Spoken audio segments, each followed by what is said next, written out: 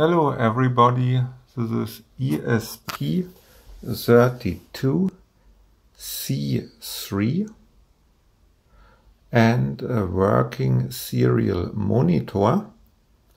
I had to apply two resistors, one from EN pin to 3.3 volts and the other from GPIO 9 pin, please count. It is number 4 from right, because the PCB print is wrong, to make it work, because that little CH340 was pulling RTS and DTR line down.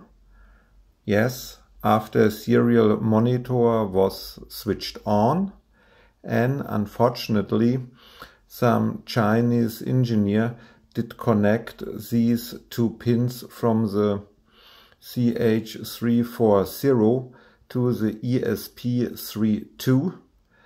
Well, Chinese engineers. Okay, bye bye, have fun.